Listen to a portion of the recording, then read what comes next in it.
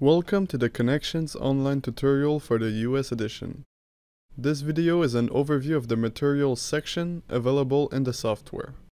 Upon opening the Connections software, various types of connections are available under the post and beam and Lapped Shear categories. The connection types are also displayed graphically. The way that the software works is you go through a step-by-step selection of the connections type in order to narrow your choice for the design. In fact, when clicking post and beam, the only images that will be displayed on the screen are the ones related to that category. As you can see, in this case, you will find different images for beam to beam, beam to column, and column to base connection types.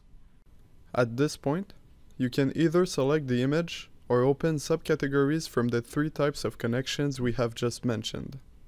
For example, in the beam to beam section, the three images illustrated are respectively one-sided, two-sided, and slop connections, which is the same as the subcategories from that section. Furthermore, the last choice to make before designing the connection is the type of connector shown in the image. In this case, when choosing a one-sided beam-to-beam display, the connectors available are shear plates, bolts, top hanger, and lag screws. Now, let's look at some of the connectors available in the software as well as their design options and capabilities. Shear plates are available in two sizes, 2 and 5 8 of an inch or 4 inch diameter. For wood-to-wood -wood joints, two shear plates are placed back to back in connection. For wood-to-steel side plate joints, a single shear plate accompanies a steel plate. They are generally used in heavy timber or glulam structures where there are larger loads to be resisted. They are also used in large trusses, beam-to-beam -beam connections, column-to-foundation connection, arc peaks, and timber bridges. They can be useful in structures that are expected to move and rotate while in use.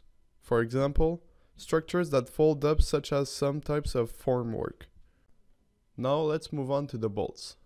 Bolts are widely used in timber construction.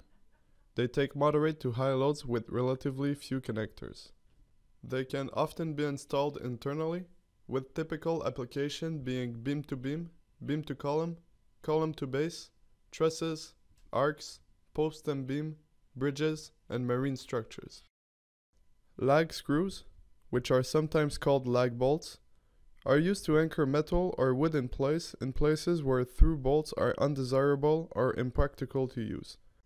They can be loaded in shear or in withdrawal. Finally, let's talk about nails. They are manufactured in many lengths, diameters, style, materials, and finishes. Nails are used extensively in all types of wood construction. They are viable connection type for structures with light to moderate loads. They are very useful when ductile connection type is required, such as seismic load resisting elements.